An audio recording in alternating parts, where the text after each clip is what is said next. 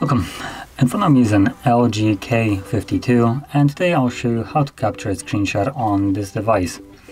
And to get started, all you want to do is open up the content that you wish to capture. I'm going to use settings as an example.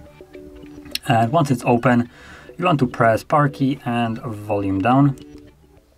Actually hold it. There we go. When you hold it, you'll see this pop up here to signify that you have captured the screenshot. There's also a couple of shortcuts as you could see there.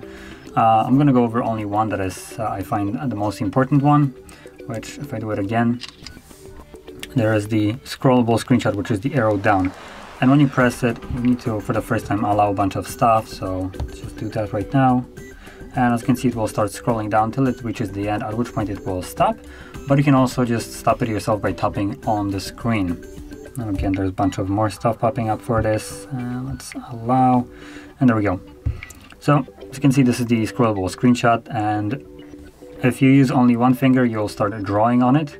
So you need to use two fingers to basically scroll down on this scrollable screenshot. And once you're basically satisfied with how it looks like, uh, if you wanted to write something on it, you can.